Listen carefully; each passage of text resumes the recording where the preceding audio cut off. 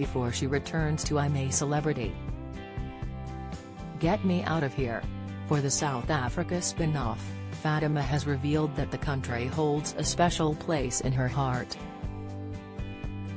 She shared that her late husband, Andy Norman, worked in South Africa for many years and her son, Ryan, 25, was actually born there. The javelin world champion said, as reported by OK, my son was born in South Africa. My late husband worked there for 10 years and it is a country close to my heart.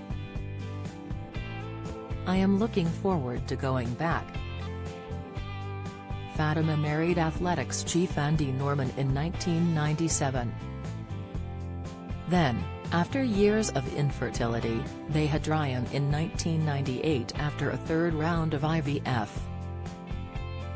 The couple ended up divorcing in 2006 and Norman died of a heart attack in 2007 aged 64. It then emerged, as reported by The Guardian, that Norman had taken out loans in Fatima's name which put her tens of thousands of pounds in debt. She subsequently had to sell the family home and used the fees from her 2011 I'm a Celebrity. Get me out of here. Stint to pay her debts. Don't miss. Paul O'Grady's final act to bid goodbye to village he loved so dearly. Latest, Carol Vorderman fell in love with Boss while in South Africa, Insight, Gabby Logan's husband finds out she had two boyfriends at same time, news, she said after exiting the ITV show in third place, as reported by Mail Online, I'm struggling.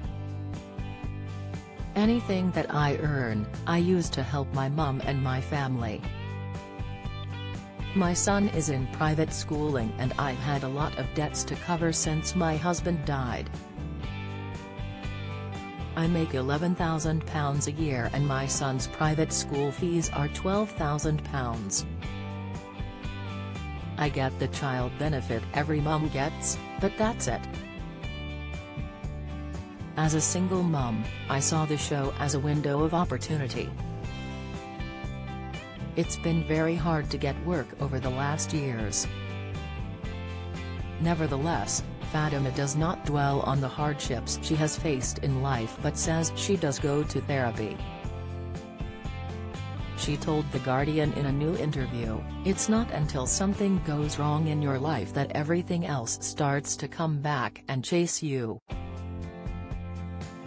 Life is about absorbing the good and the bad, learning from both and still moving forward. Fatima added that she vows not to be angry or bitter because, that's only damaging to yourself. It blurs your vision, it doesn't allow you to progress.